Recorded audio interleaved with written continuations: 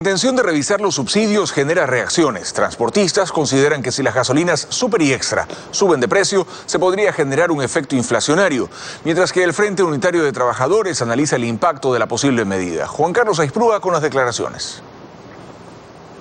En la convención nacional que organiza el Frente Unitario de Trabajadores para mediados de agosto se analizará la situación económica del país. Sin embargo, José Villavicencio, presidente de esta organización sindical, adelantó hoy la preocupación que se ha generado luego del anuncio de revisión de subsidios a la gasolina. Hoy pretenden quitar los subsidios cuando les condonan, perdonan intereses y multas a los grandes empresarios. La deuda que les perdonan serviría para pagar este año a los subsidios de que tanto hablan. Mientras que Luis Calvopiña, representante de la Cámara de Transporte del Distrito Metropolitano de Quito, señala que pese a que no se eliminará el subsidio al diésel, un eventual aumento de las gasolinas super y extra podría generar un efecto inflacionario del que también nosotros vamos a ser objeto en todos los sentidos, tanto como transportistas como entes sociales también. Sin embargo, Jorge Llanes, de la Unión de Operadores de Transporte Público de Quito, cree que sí es necesaria una focalización de los combustibles. Y no solo eso. Eh, que el gobierno nacional, pese a que las,